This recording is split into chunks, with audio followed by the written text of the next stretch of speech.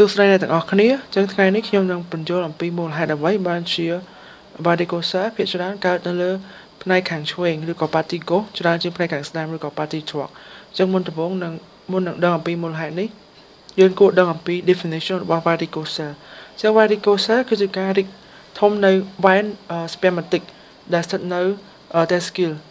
ឬក៏បារាំងគេហៅថា c'est la dilatation des veines situées au niveau du cordon spermatique ដែលជា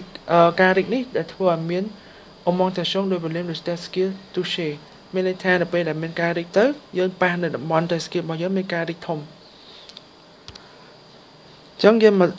មកមើលមូលហេតុរបស់យើងវិញសួរថាហេតុអ្វី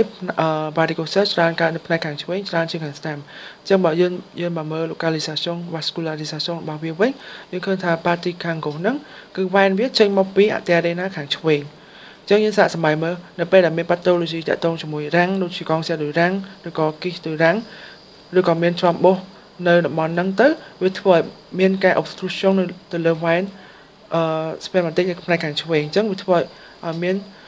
អត់ធ្វើឲ្យមានទទួល vein នៅជាហេតុធ្វើឲ្យមាន dilatation នៃ vein spermatic នៅផ្នែកខាងឆ្វេងតែបើយើងងាកមើលទៅផ្នែកខាងស្ដាំវិញយើងឃើញថាដើមកំណើតរបស់ vein spermatic tract ហ្នឹងវាចេញមកពី vein កាយ inferior អញ្ចឹងវាកម្រណាស់អឺដែលធ្វើដែលមាន thrombus ទៅស្ទះទៅលើ vein កាយ inferior ដែលជា vein មួយដែលធំហើយកម្រនឹងមាន pathology ដែលធ្វើឲ្យមានបញ្ហាទៅលើ vein កាយ inferior នេះទៀតអញ្ចឹងនេះនេះហើយគឺជាមូលហេតុដែលធ្វើឲ្យមាន varicose ភាគច្រើនកើតនៅលើផ្នែកខាងឆ្វេងច្រើនជាងខាងស្ដាំ។